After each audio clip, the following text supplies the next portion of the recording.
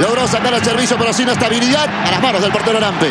Lampe que no había sido titular en toda la eliminatoria ni en la Copa América. Sorprendió a todos Vizcarra como titular. Ahora con la llegada del nuevo entrenador, se me olvida el nombre siempre, ya es titular. Cuidado.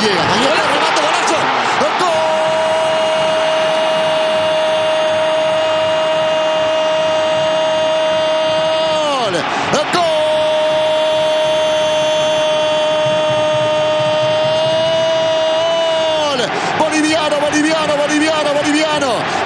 Ramiro Vaca desde fuera del área. Le metió un fierro, le metió un misil arriba y atajable. Rompe el cero la selección boliviana. 1 Bolivia. 0 Venezuela. Ramiro Vaca, el 10 de Bolívar. Para meter un golazo para regalarnos esta pinturita. Gana Bolivia. 1 a 0. Gol. y asumió defender muy cerca de su portería Venezuela, muy metido, cediéndole mucho espacio.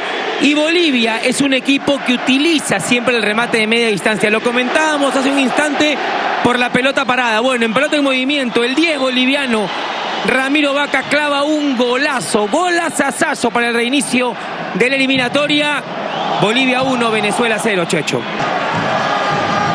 Posibilidad para la selección boliviana del segundo.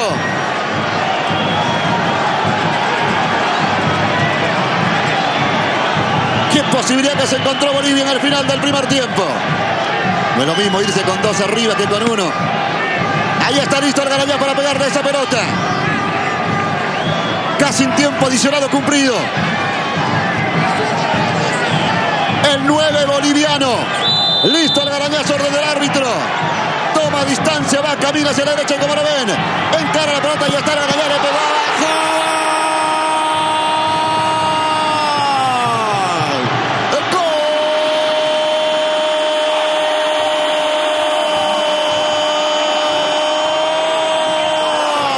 Boliviano, boliviano, boliviano, boliviano. Carmelo Algarañaz a los 50 de este primer tiempo.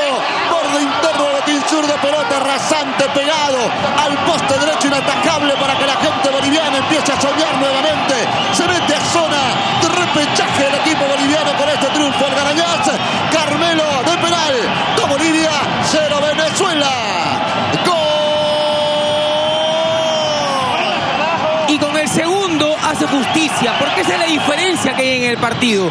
Esa es la diferencia que hay entre Bolivia y Venezuela en este compromiso en los 4.100 metros de altura del alto. Bolivia ha sido superior técnica, tácticamente, físicamente, en todo sentido ha superado Bolivia a Venezuela. En la última jugada del partido, la falta de aire, la falta de piernas hace que cometan el penal. Chechito gana Bolivia 2 a 0. Sí, gana bien el equipo boliviano.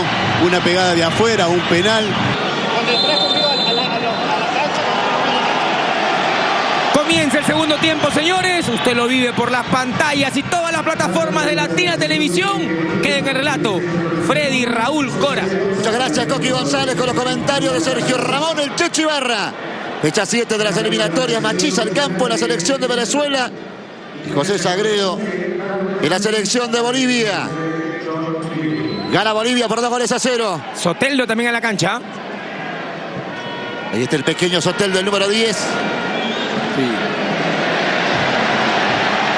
Está Bolivia, Medina se metió, balón para el Garañá, se enganchó, le quedó para la derecha, vuelve a enganchar para la zurda, habilita por banda, se viene la pelota filtrada al área. ¡Gol! ¡Gol!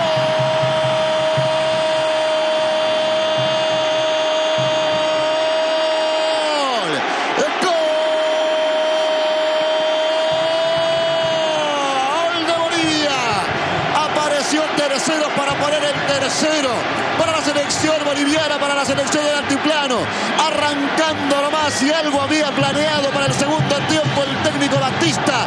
Se le cae porque Bolivia arrancando por el tercero. 3 Bolivia, 0 Venezuela, tercero para acomodarla nomás. ¡Gol! Es un golazo, golazo, golazo de Bolivia, porque es un golazo que además viene de la banca porque viene con el cambio táctico, con el cambio a pasar a jugar con tres centrales y con tirar a Medina abierto. Te decía Checho al inicio del partido, Medina jugaba mucho de carrilero por derecha, lo ponen de carrilero por derecha, una pelota muy larga de Sagredo hacia Medina y con ese control mueve todo. Y terceros no extremo, terceros es un media punta, Ramiro Vaca es un media punta, junta los dos. Tres minutos más, Freddy Raúl. Bien, jugaremos tres minutos más en este segundo tiempo. La Bolivia con Ramiro. Ay, qué lindo. Pasa Sagredo. Levanta el servicio, balón al medio.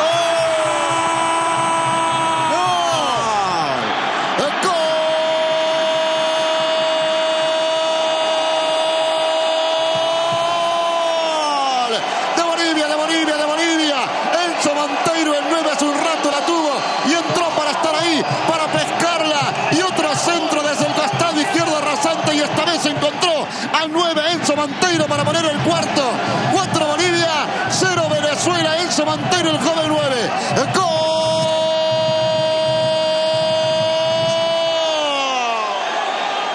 Golazo nuevamente de Bolivia, aprovechando las bandas y terminando por el medio, como se tiene que jugar en la altura. Checho nos hablaba de ese centro peligroso que llega desde la banda para que el 9 pueda tomar ese balón arrastrón, para que el 9 pueda atacar el espacio. Pero en el fútbol la pausa es tan importante como la aceleración. Y la pausa que da Ramiro Vaca para que pueda ganar la posición Sagredo, para que pueda atacar el espacio el gran chico Enzo que marca su primer gol con la selección. Golazo de Bolivia, Checho, 4 a 0. Le empieza el diferente, ¿no? Le empieza el, otro, el jugador que siempre tiene la pausa, siempre tiene la lectura, como, como, como Ramiro Vaca. Hace la pausa que tú dices por dos cosas. Uno, esperar para que Sagredo pase y la otra, engañar al rival porque con esa pausita que hace hace que se tire al suelo.